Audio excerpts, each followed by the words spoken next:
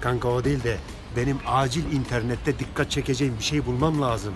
Yalnız bu sefer oltayı sağlam atmak gerek. Ulan Olta Kazım, işin gücün boş beleş şeylerle uğraşmak. Ben seni bir türlü anlayamadım oğlum. Ne boş beleş şeyleri kardeşim ya. Senin o boş beleş dediğin şeyler sayesinde benim bir dünya takipçim oldu oğlum. Ayrıca canlı yayında da parayı götürüyorum. Ama bana böyle dikkat çekeceğim başka bir şey lazım lan. Acaba ne? Buldum lan. Ne buldun oğlum? Çabuk söyle. Çık yolun ortasına, soyun. Arabalar seni ezip paramparça edene kadar orada kal. Kesin bir milyar izlenirsin oğlum. Ulan var ya aslında iyi fikir ha. Ama o zaman da ölmüş olurum. O parayı yemedikten sonra ne anlama kaldı kardeşim? Ulan hepiniz kafayı yemişsiniz. Oğlum adam gibi şeyler yapsanıza. İlla ki maymunluk mu yapacaksınız?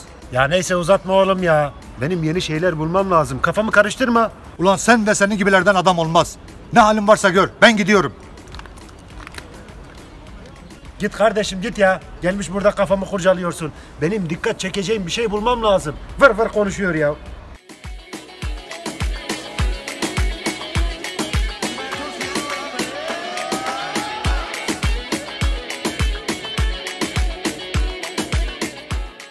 Hayırdır ya oğlum kendi kendine konuşuyorsun. Ne oldu? Hiç sorma abi ya. Kazım geri zekalısı benim canımı çok sıktı. Hangi Kazım? Olta Kazım mı?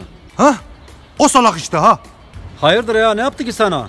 Ne olacak abi? Salak salak şeyler yapıyor. İnternete dikkat çekmek için daha ne kadar geri zekalı olurum derdine düşmüş ya. Ya oğlum boş ver ya. Bu düzen bozulmuş. Millet internete karısını bile peşkeş çekiyor. Ortalık sapık dolu. Aynen öyle abi. Canlı yayında iki kuruş kazanacaklar diye ne namus kaldı ne edep. Oğlum bu daha iyi günlerimiz. Biz internette daha neler göreceğiz neler.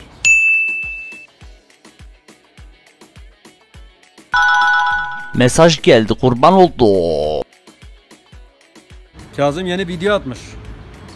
Benim yeni videomu izleyin diye. Bana da yollamış abi. Gel beraber izleyelim de bakalım ne salaklık yapmış yine.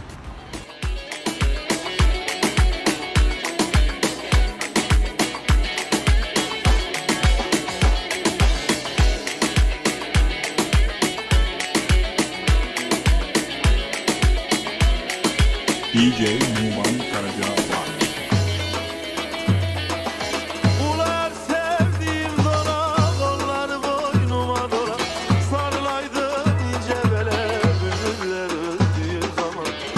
Artık orospu değilim. Mesleğimi değiştiriyorum tatlım. Kahpeyim ben kahpe.